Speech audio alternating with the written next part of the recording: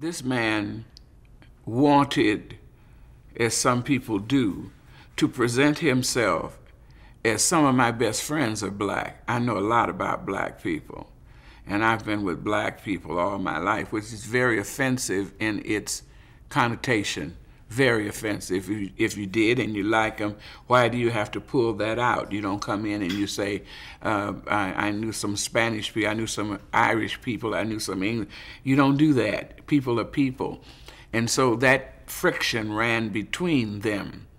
And he was always trying to tell Redd how to be funny. That is so stupid for him to have approached that. And he approached it with, I'm uh, the producer, one of the producers, and I can tell you how to be funny if I want to. And Redd was saying, you don't, you don't even know funny, so you can't tell me something you don't even know. And that was the undercurrent all the time. This particular day, uh, Entertainment Tonight came to interview Redd. And so we're rehearsing a scene, and all Redd had to do was walk across the back of my chair we're not shooting, we're rehearsing a scene. And uh, of course, they sent someone to walk back. And this man says, Where is Redd? And I said, He's having an interview with Entertainment Tonight. I said, But he doesn't have any lines here. He just has to walk. If he's supposed to walk past, he should be in here to walk past. So he goes in there, stops their shooting, and brings Redd out. And when Redd gets out there and finds out all he has to do is walk across the back of this that anybody could have done, he becomes livid. And he f- falls. Well, he was always doing pratfalls. And I thought that's what he did. Everybody thought that's what he did.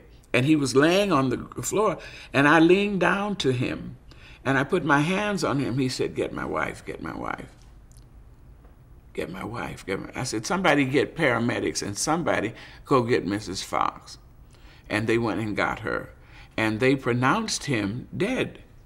And they put him in the ambulance and we all got in our cars and followed him to the hospital. And he came back and stayed for four and a half hours.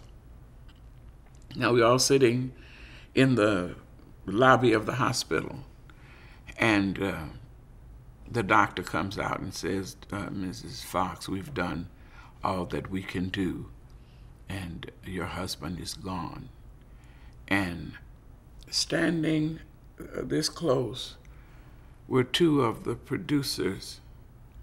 And they said, What are we going to do with this script? This script was written for Redd and Della. What so who are we going to get to? Who's going to replace? She's sitting right here. They just told her that her husband was dead. And I went crazy. I went absolutely insane on everybody. And uh, got in my car and left. And I made up my mind in that car on the way home that I wasn't ever going to do television that way again because if, something happened to me and they treated my husband and my daughter that way, I'd have to come back. And once I go, I don't want to come back. They never did treat him with the respect that he should have been, uh, should have had. He should have had uh, a, a, right out of the show, but instead they stuck Jackée in there and she's a wonderful comedian, but that was not the time nor the place for her to be. They just reached out and got her and sat her in there. And he never got the treatment he needed. He was not uh, phased out of it, like he didn't get an accident or didn't get sick or something. And so he was no longer in it. Just one day he was there and one day he wasn't.